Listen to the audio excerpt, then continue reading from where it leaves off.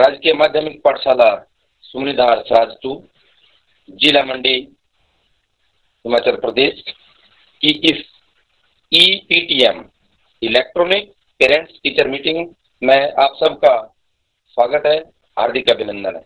जैसा कि हम सभी को विदित है कि पिछले तीन चार महीनों से जो कोरोना महामारी कोविड नाइन्टीन चला हुआ है, इसके मद्देनजर देखते हुए हमारी शिक्षा प्रणाली लगभग पूरे तरीके से तहस नहस हुई है। सरकार के अथक प्रयासों से जो हर घर पाठशाला वाला जो एक नया प्लान काढ़ा हुआ है, उसका हम स्वागत करते हैं, जिसके लिए हमारे शिक्षा विभाग के सभी कर्मचारी अपनी पूरी मेहनत कर रहे हैं।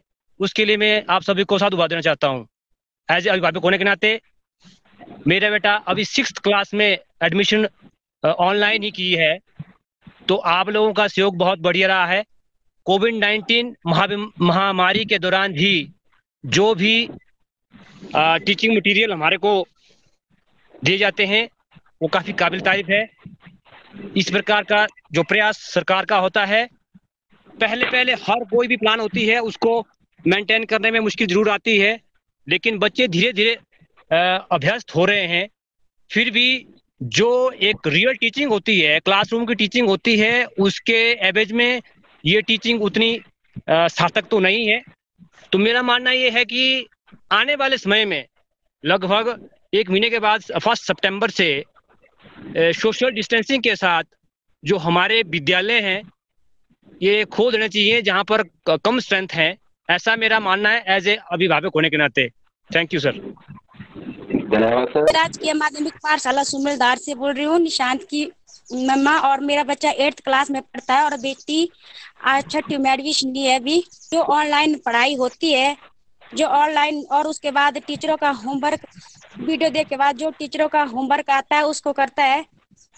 और इस बीमारी की वजह से हमारे बच्चे थोड़े परेशान हो गए सोचते कि हमने स्कूल जाना, हमारा स्कूल कब तक खुलेगा? मैं मैं यही चाहती हूँ कि हमारा स्कूल अगले महीने तक खुल जाए।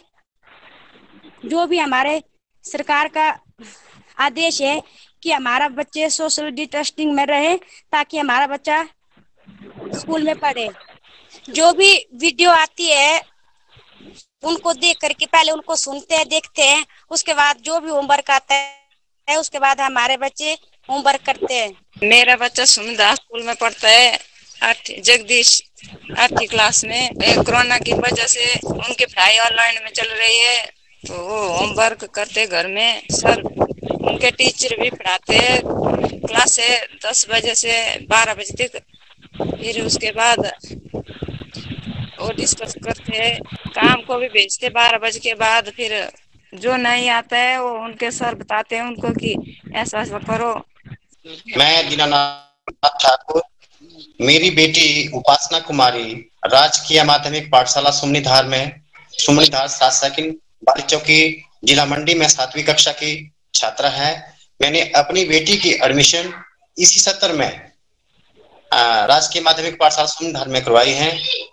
और तभी से कोरोना महामारी का जो दौर चला है, कोरोना महामारी के चलते पढ़ाई निश्चित रूप से प्रभावित हुई है, लेकिन इसके बावजूद तो सरकार ने हर घर पाठशाला का जो कार्यक्रम चला है जिससे जो हमारी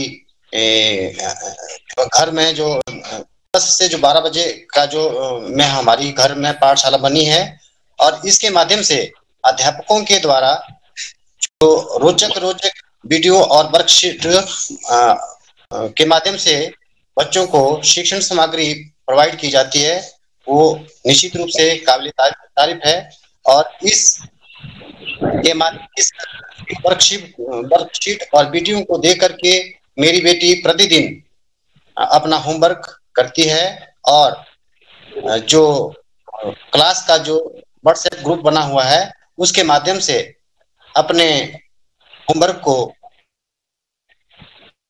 अध्यापकों को भेजती है और और जो जहाँ भी बेटी को समस्या आती है और उस समस्या का समाधान अध्यापकों के द्वारा किया जाता है। इसके लिए मैं अध्यापक का बहुत बहुत आभारी और आ, स्वागत करता हूँ कि वे कंसेप्ट को क्लियर करने के लिए बच्चों को बच्चों को सेव करते हैं। और इसके बावजूद मेरा जो स्कूल खोलने खोलने के विषय में मेरा जो एक व्यक्तिगत राय है मेरी व्यक्तिगत राय ये है कि जहाँ जहाँ स्ट्रेंथ कम है पच्चीस से कम है वहाँ स्कूल खोल दिए जाने चाहिए और सोशल डिस्टेंसिंग का पालन करते हुए बच्चे स्कूल में सोशल डिस्टेंसिंग का पालन करने हुए, करते, का पालन करते हुए पाठशालाओं को खोल दिए जाना चाहिए। ये मेरी व्यक्तिगत राय है। धन्यवाद, सर।